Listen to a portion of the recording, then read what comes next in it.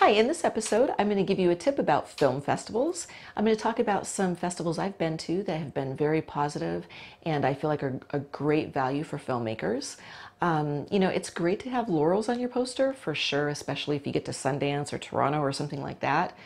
For sure, I would want to do that. But if you can't, for whatever reason, there's a lot of festivals out there, and you want to find the one that gives you the best value and also one that gives you an opportunity to potentially get nominated or even win awards.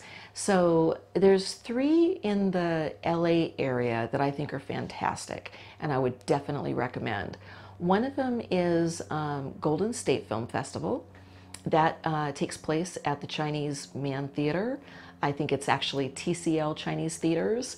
And there's no better place to have your film screen than in the middle of Hollywood where you can invite a lot of industry people and have them see your film in a pristine theater and at it's the best it can be. They show all DCPs, so you're going to have to get that. But um, it's it's a fantastic festival, and they give a ton of awards. So, and the guys that run it are really great. They end up really getting to know the filmmakers, and and I've just had really good experiences. Side note, they do have four other film festivals I know of, so they're definitely great to get to know. Another one is the Idyllwild International Festival of Cinema. Uh, they happen to be one of my um, favorite film festivals. Stephen and Trinity own it. They're they're directors of the festival.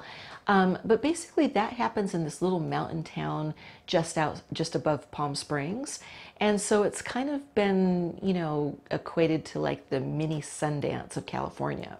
Uh, you definitely are away from LA. It's a couple of hours away from LA. So the nice thing about that festival is you get to know other filmmakers.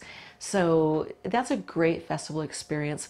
Plus, they also give a lot of nominations and a lot of awards. All around, I would give it a 10 plus for sure. And then another one that's really great inside of LA is the Los Angeles Independent Film Festival.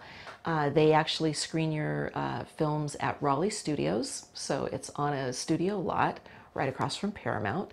Uh, they've um, been in business and doing this for at least three to four years, I think. But I would definitely reach out to that festival um, and you know see how you how you might do. They have a ton of nominations, uh, and I believe they screen maybe twice a year. It might be might be more than that, but definitely twice a year.